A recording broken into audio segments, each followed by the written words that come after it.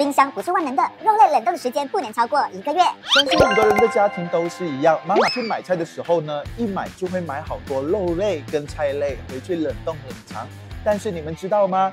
这样是不好的，肉类冷藏的时间越长，对我们的身体越不好。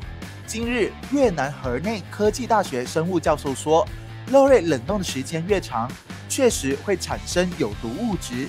他说，虽然冰箱是可以让我们把食物储存得更长时间，但并非无限冷藏。肉类在运输时，在零下摄氏五十度的温度下保存冷冻。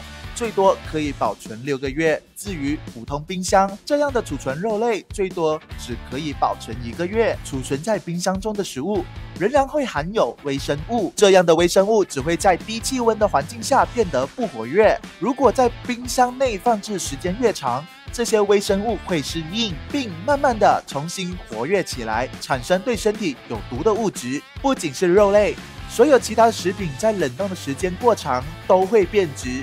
理想的情况下，应该尽快吃完这些储存的食物，不要储存太久。听到这些对于冷藏的知识，你们都了解了吗？记得不要存放食物太久哦。